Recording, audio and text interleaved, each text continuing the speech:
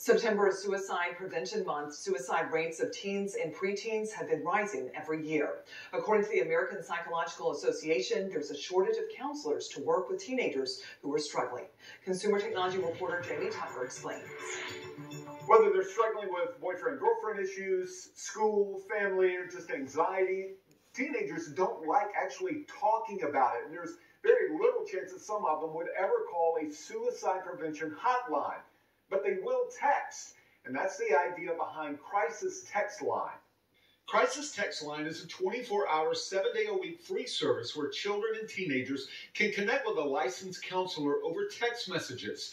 It's as simple as sending a text to home or 741 741. A volunteer counselor will text back, usually within a couple of minutes. The counselor will stay with them for as long as the child or teenager wants to communicate.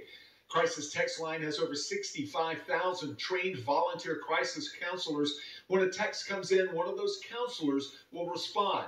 Now, it is very private, and the number will not show up on a phone bill. No one will know that you've reached out for help. Teenagers can also contact Crisis Text Line through a web chat window on a computer or the WhatsApp messaging app. Once again, the number 741 741 or HOME.